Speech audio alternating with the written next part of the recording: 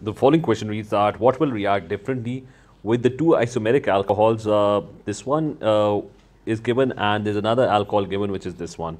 Uh, so you have two alcohols. So we're going to have a look at the two alcohols. I'm going to draw the structure of the two alcohols. So if I look at this first molecule over here, this one, let's try and draw this. Uh, I'm going to start, uh, my starting point when I'm drawing this would be this one. I'm going to focus on this middle carbon atom.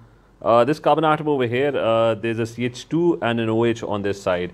So a C and an OH group attached and CH2, so that means there would be two hydrogens. And this carbon atom uh, on the left side, there are three CH3 branches that are attached to it. So there is a CH3 branch. So let's uh, draw that those CH3 branches. So here you can see I've uh, drawn the three CH3 branches around that carbon atom. So I've focused on this middle carbon atom. Uh, similarly, this molecule over here, let's start with this carbon atom which had all these branches attached. So uh, this carbon atom, there's a CH2, another CH2 and then an OH. So C, H2, CH2 and then an OH. Uh, let's add in the hydrogen. So this is to the right of that carbon atom. So I'm going to add these hydrogens. And on the and this is CH. So this is going to be one H that is attached CH. And on the left side there are two CH3 branches. So let's add in the CH3 branches. So here's one and here's another CH3 branch that is to the left of this uh, carbon atom. So I have, I have my two structures now in front of me. Uh, the first one, let's start and figure out which one would react differently. The first one is an oxidizing agent. As you can see, uh, this uh, both of these molecules are primary alcohols. You can look at this carbon atom uh, and this carbon atom. So they're both uh, primary alcohols. Primary alcohols are going to get oxidized by potassium dichromate 6. Uh, primary alcohols, they change into primary alcohols change into aldehydes and then they change into carboxylic acid. So both of these carbon atoms, this one and this one, uh, they're both primary alcohols and they're going to react in a similar way. Potassium manganate would change from purple to colorless. So the first one reacts in a similar way with both of them.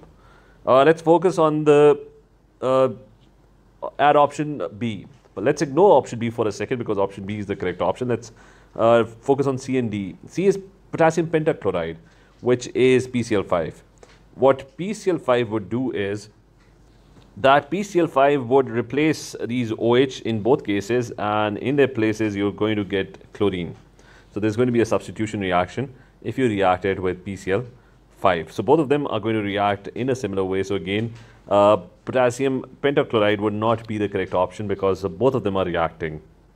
Similarly, let's focus on this last one, sodium. Sodiums, uh, they react with alcohols uh, the H in the OH group is going to be replaced by Na if you react it with sodium. Sodium is the is probably the most reactive metal which reacts with alcohols, uh, which are very very weakly acidic. So this H as well, uh, the oxygen will become minus one, and instead of the H, there's going to be Na plus one in its place. The H would form a hydrogen gas. Uh, so both alcohols are going to react. Uh, so the first option, the third option, and the fourth option, they can't be the correct option. Let's now focus on the correct option, which is going to be option B. So why is option B the correct option? Now, the reason why concentrated sulfuric acid is the correct option is because it's a dehydrating agent.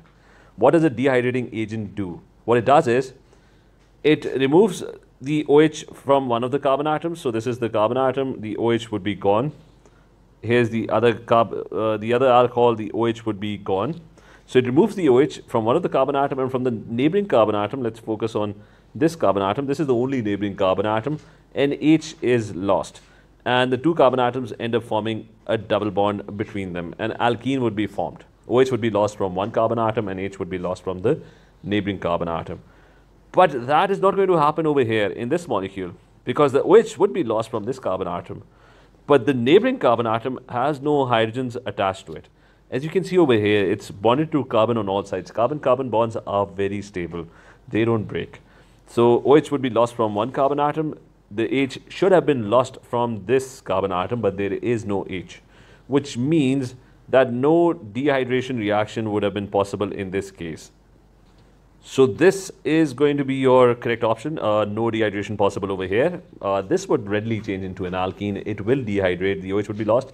The H would be lost from the neighboring carbon atom and the two carbon atoms are going to have a double bond in between an unsaturated compound is going to be produced. So concentrated sulfuric acid is the correct answer. It's going to react differently with the two molecules.